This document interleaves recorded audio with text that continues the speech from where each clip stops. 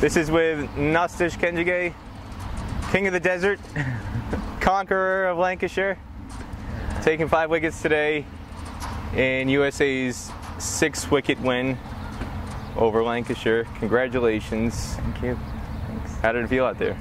It felt great. I mean, to win any any match, and this was a quality side. They're a top side in England County, and to beat them so comprehensively, it feels great. Amazing.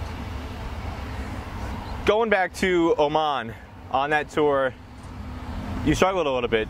Coming out of the Super 50, you, bowled quite well. You ran to the match in the win over Leeward Islands, and then when you got to Oman, it seemed like you were a little bit of a funk. Went wicketless the first four games. Finally, got out of that streak in the final game against Singapore. But then, again, against UAE, it looked like you were stuck in a little bit of a rut. And then you come out here today, and almost from ball one, it looked like you were in perfect rhythm.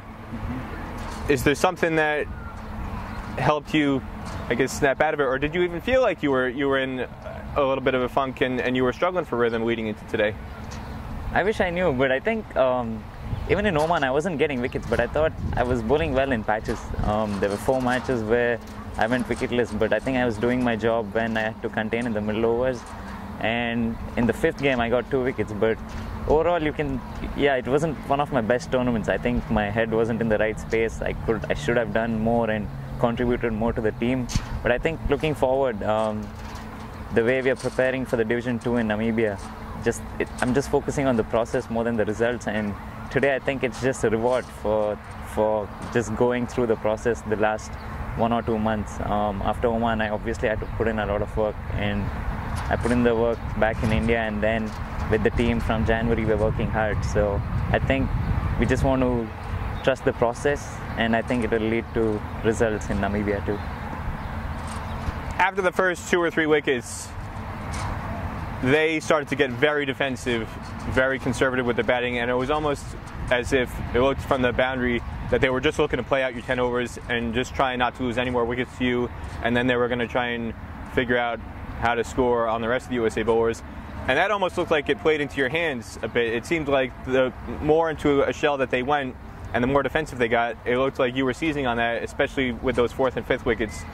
Did you feel that at all? Um, yeah, I think so too. Um, I think the first three wickets played in the heads too, and when you're watching from outside and the team is so pumped up, and everybody is just, you know, the energy is, it's visible from the outside, and if you're watching it as a team from outside, it's going to play in your mind. And I think after those three wickets, I had to just make use of the situation that we were in, and I just wanted to get as many as I could because I think I still had five, six overs to go when I got three wickets. So, yeah, happy with the five as the ball is in the air and you see for the fifth wicket, batsman is padding up. you know, you you pretty much got the fifth one. What what was it like going through your mind? Because this was your career best for USA. You'd taken a five for in a trial match in Texas, but in an actual international match playing playing for USA, you'd gotten four, three and four a few times, but never gotten to five. Uh, what was it like when when you knew that that thing was going to go in the air? it felt amazing. I mean, um, playing for US and then taking a five for for the US, it's it's something else. It's not. It's you don't get it every day. And today, I wanted to make it count. I I got three four and I was bowling well. I was in a good rhythm. I thought if I could just keep it in the right areas, I would get the fifth. But at the same time, I had to be patient as well because it has to comply with the team's um, plans. And the moment he just patted up the ball, I knew he was out. And yeah, just just celebrated. You were the man of the match in both wins that USA had against Leeward Islands in the regional Super 50 competition. You had a hat trick against Canada in the Auty Cup. Where does this victory rank and your performance in the victory rank amongst your career highlights playing for USA? That's a hard question. Uh, I think each each each match had its own consequence. In Auty Cup, when I got the hat trick, I think it was the first time we won Audi Cup in 25 years. So that had its own own little, you know, it felt nice. And then two wins in against Leeward in Super 50. That was the first time we beat them on that year, or the first time ever. So even that felt great. But even here, it just feels amazing. Um, I don't know where I would put it in all of them, but it's right up there. Um, in just terms of in terms of bowling, in terms of bowling, I think I would put it after Auty Cup. Um, in just just in terms of performance and not the situation wise. Yeah. Just in general, I, I mean, you, you talked a little bit earlier about focusing on the process and not thinking so much about the results and just trying bowling good areas. But these wickets on, on both pitches today, this was a, a, a, different ground for people who are not in Dubai. There are two separate ovals here at the ICC Academy. This is a, a different ground, bigger boundaries, but both pitches been fairly flat. Both pitches looked like they were very good for run scoring. And yet, you took five wickets. Stephen Taylor similarly took four wickets yesterday. He was quite effective bowling finger spin, had a couple wickets with the arm ball. You looked like you got at least one or two wickets with the arm ball today. Why were you able to be so effective just with so little assistance on the wicket when a lot of guys were scoring runs freely, especially on when USA went out to bat? Um, I think it's a lot about bowling in partnerships too. Um, I think today, when I was bowling, when I started, we had some good overs from the other end too. And similarly, yesterday, when Taylor was bowling from one end, the bowlers at the other end backed him up, and we kept it tight from the other end. And then I think just like batting, even in bowling, bowling in partnerships helps a lot. And then our fielders have been backing up the bowlers inside the ring. I think we have been fielding brilliantly, although we have been sloppy at times. But I think the energy is right up there. So I think all that is contributing to the success of the bowlers too. Following up your performance, Xavier Marshall and Aaron Jones again, half centuries yesterday, half centuries again today. Watching from the sidelines, what stood out to you most about the way they went about their partnership in particular? They added more than 100 together mm-hmm. for the third wicket it's so nice to see them getting such a good and big partnership. Um, I think it's something that we didn't have this uh, kind of partnerships earlier, and even yesterday, the way they batted today, I think they took a step forward. Although X would have loved to get 100 here, but I think the way they've been batting positively and they just look fearless. Um, Aaron comes in, he knows what to do. He, he's not struggling. He's he. It's like he already knows he's getting a 80, 90, and they just do the job and then we are safe and we are home. So I think they need to be they they're in the zone and it's lovely to be seeing them in their zone and I think they should just keep batting the same way. It's going to help us immensely going forward.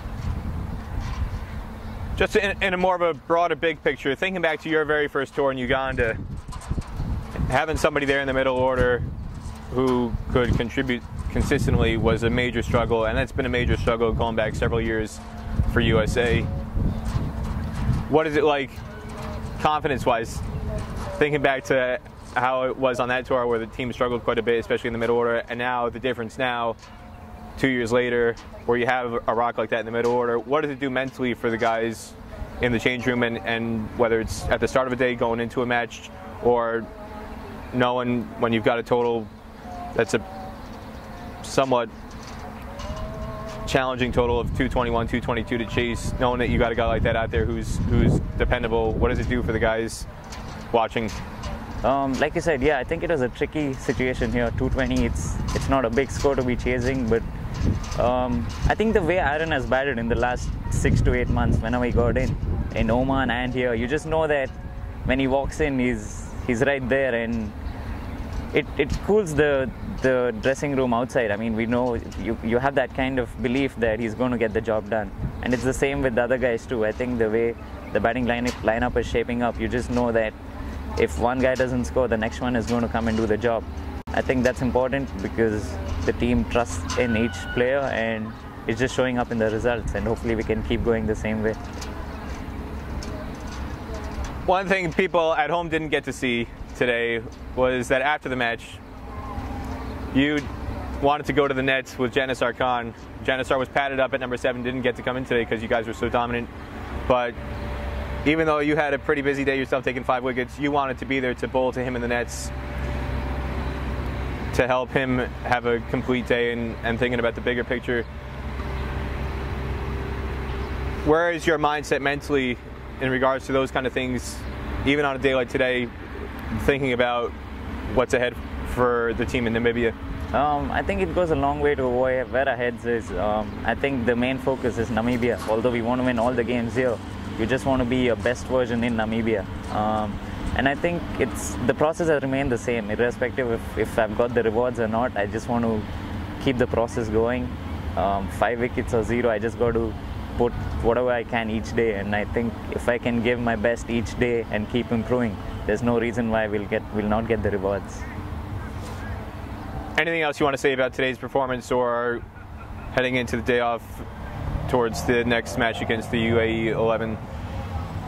Um, I think USA Cricket is on the right track. I think I would like to thank the team management as well um, for for all that they're doing in order to get us in the best shape for Namibia. And I would like the fans to keep cheering us and following us, and we'll do them proud.